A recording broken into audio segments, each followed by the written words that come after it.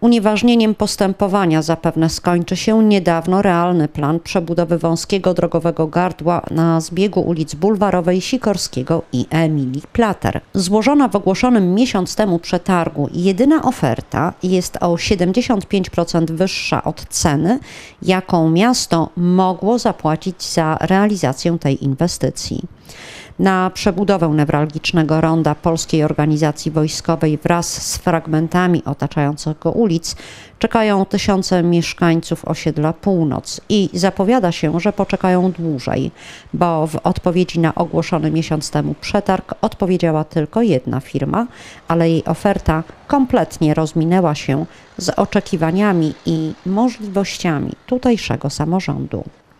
Przebudowa Bulwarowej i Sikorskiego, polegająca na poszerzeniu obu ulic o dodatkowe pasy, zgodnie z logiką została zaplanowana tak, by od razu przebudować tkwiące w ziemi stare sieci i zbudować też nowe.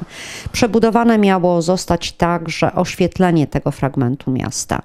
Efektem miały być więc nie tylko nowe nawierzchnie asfaltowe czy ładniejsze chodniki.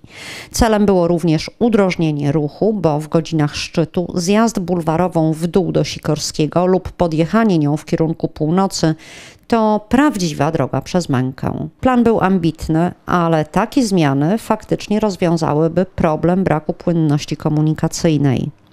Złożona przez jedynego oferenta propozycja opiewa na kwotę przekraczającą 4 miliony 800 tysięcy złotych, podczas gdy miasto wartość zamówienia oszacowało na ponad 2 miliony mniej.